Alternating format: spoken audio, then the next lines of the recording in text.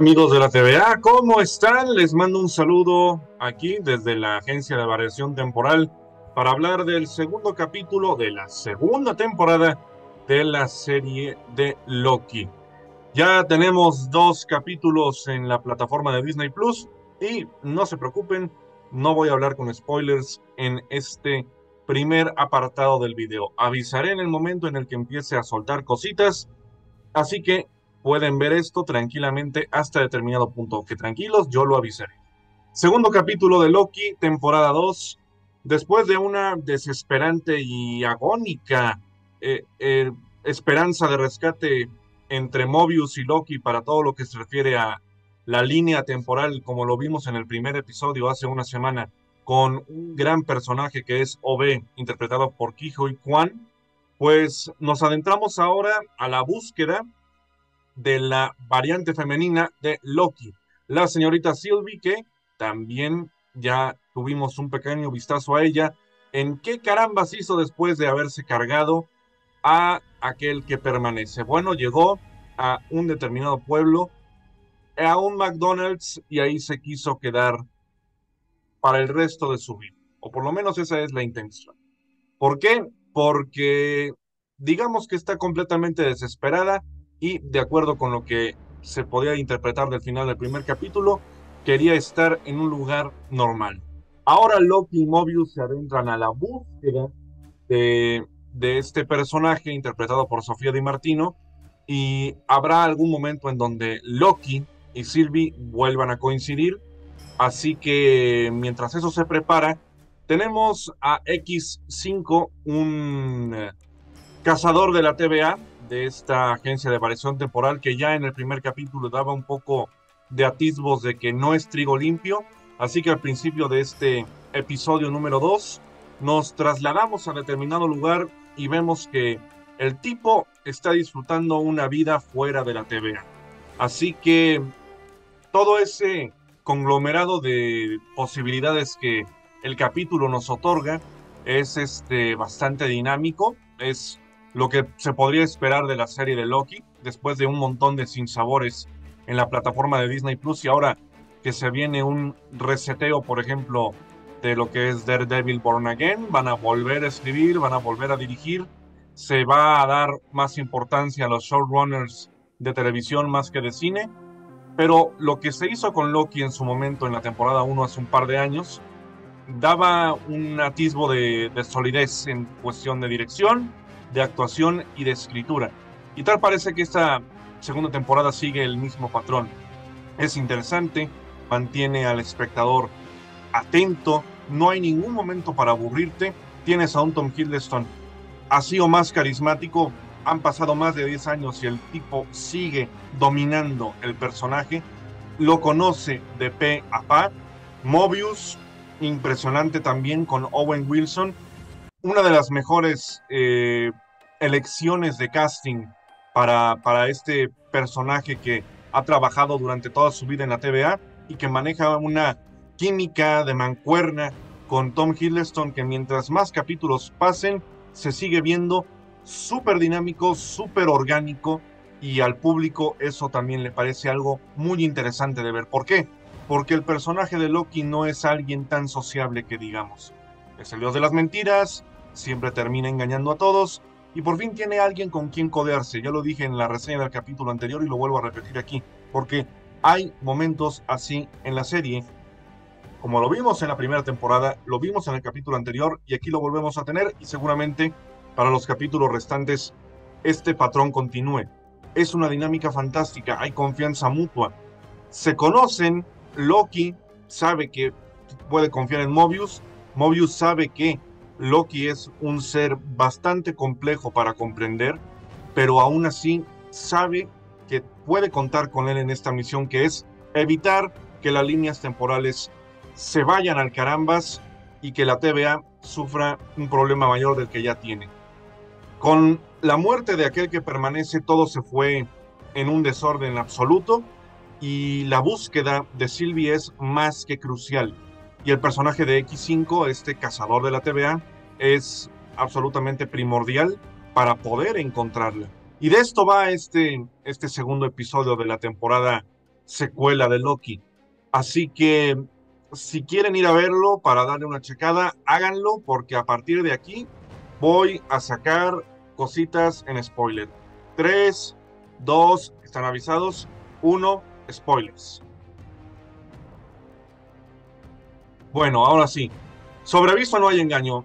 Iniciamos este capítulo y nos trasladamos a 1977 al Reino Unido, en donde el personaje de X5 se hace llamar Brad Wolf, un actor de Hollywood que está presentando su más reciente éxito.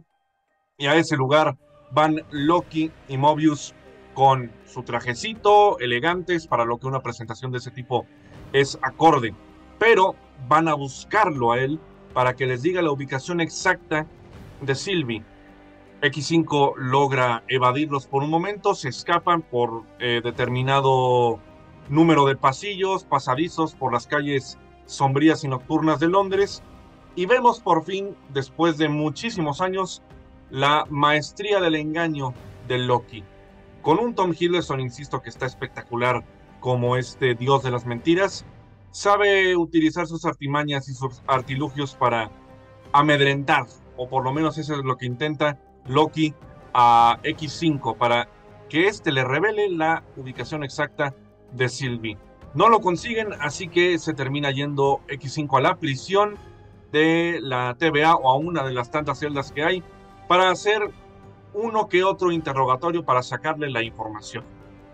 Tenemos a B15, a Mobius y a Loki enfrentándose a una especie de inteligencia maquiavélica. Sabemos desde que el tiempo es tiempo que Loki también se maneja un poco así. Pero X5 toca la herida, toca la llaga, te lastima en donde más te duele y lo logra hacer tanto con Loki como con Mobius. A Loki le recuerda que el tipo ha hecho cosas ruines, desagradables, horrorosas y que él es un villano, que no le juega a ser el héroe porque es un villano. A Mobius le recuerda de que él no es absolutamente nadie en la TVA porque realmente lo que está ahí adentro no es real y que alguien allá afuera eh, seguramente estará pensando qué tipo de vida podré yo obtener si no estoy aquí en la TVA. Pero si la TVA no es real, eh, tú no eres absolutamente nadie, Mobius. O algo parecido le dice a él.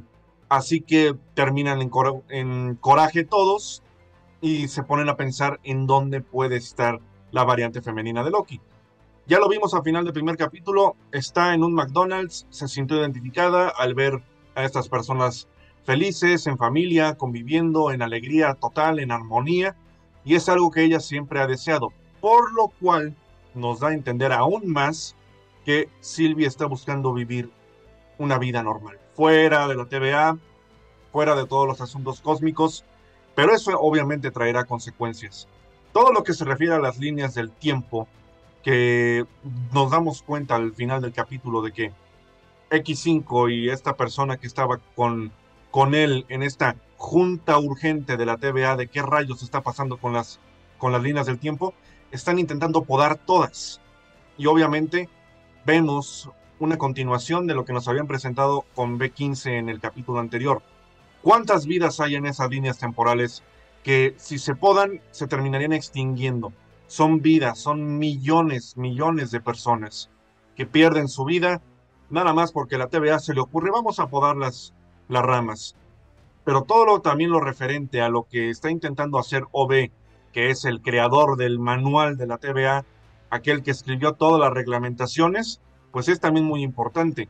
Habrá un momento en el partido en donde las líneas eh, terminarán por controlarse, o eso es lo que la TVA espera, pero lo que no tienen en cuenta es que la sagrada línea del tiempo está fallando a niveles incalculables que ni ellos mismos podían prever y mucho menos controlar.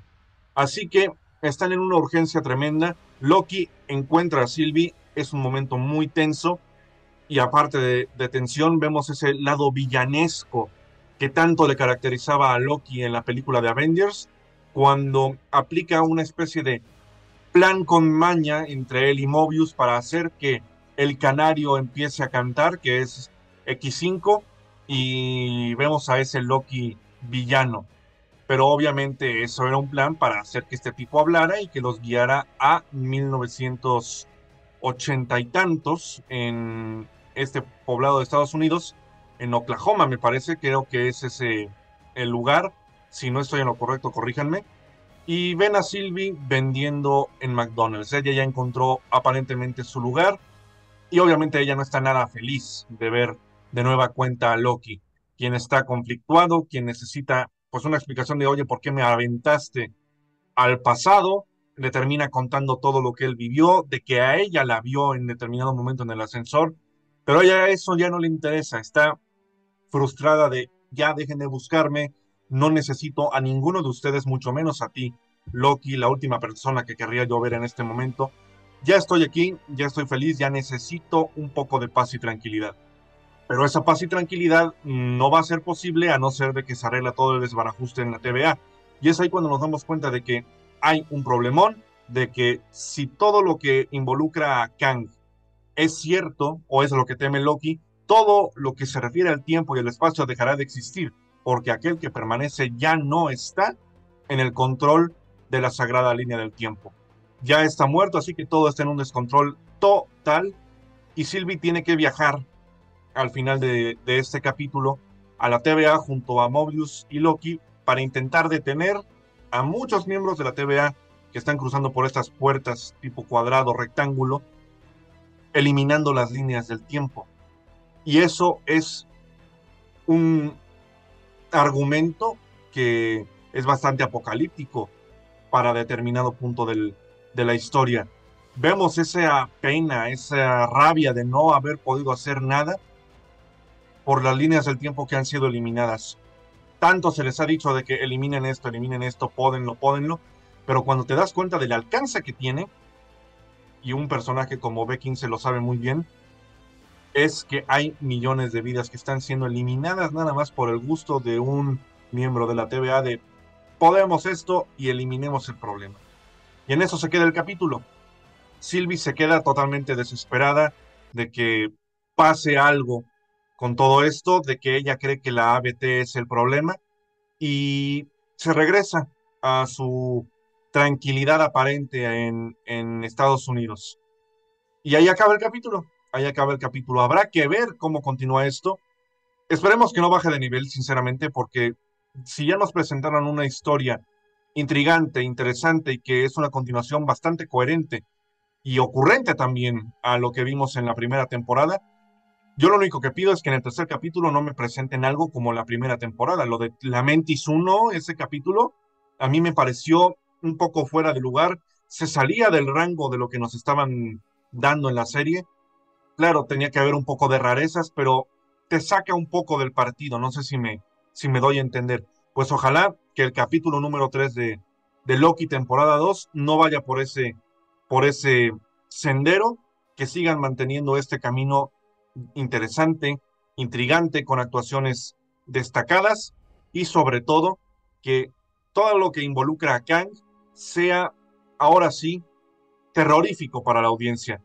En un solo diálogo, ya lo vimos en el capítulo anterior, Loki aterrorizó a todo, a todo mundo allá dentro de la TVA y a nosotros como audiencia nos dan también esa sensación de que todo lo que vimos en Quantumania es completamente erradicado con esos cinco segundos de terror puro que Loki le tiene a Kang. Este es el tipo que construyó este lugar. Este es el que le ha quitado a todos sus vidas. Él es el que va a volver. Esas simples palabras son suficientes para aterrizar de nueva cuenta a Kang, que había perdido un poco el terreno, pero que ahora sí, y a ver qué rayos pasa con Jonathan Mayers con su juicio, eh, tendremos un antagonista más que interesante con sus múltiples variantes para los próximos años en Marvel, que ojalá también Marvel recupere un poco el camino porque de no ser por Guardianes de la Galaxia y esto, el año se les va al traste. ¿eh? Habrá que ver de Marvels, pero le voy a tener sus reservas a la, a la película que de por sí no, no está causando tanto, tanto interés.